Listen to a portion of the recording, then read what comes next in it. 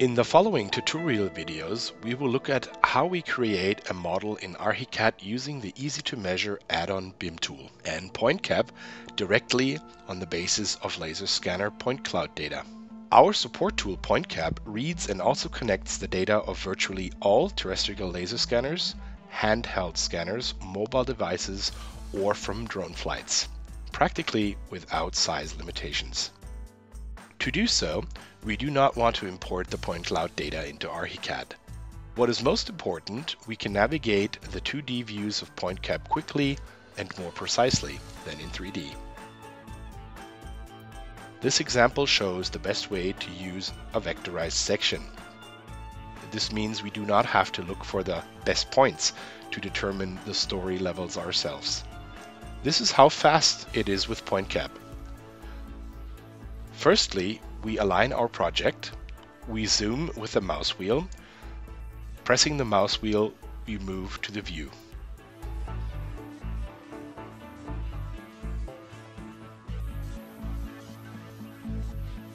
Secondly, we create a section through the stairs, because they are to determine our story levels.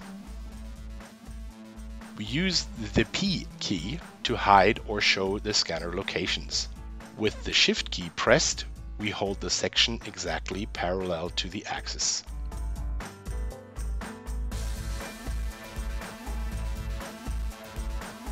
A double click opens in the new view.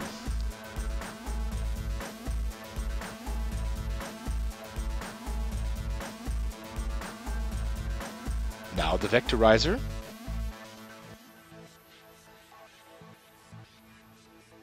In less than five minutes, the preparatory work is complete.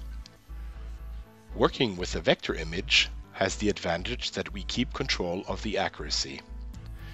We see how far our ideal image deviates from any uneven or irregular ground and, if necessary, we can correct this.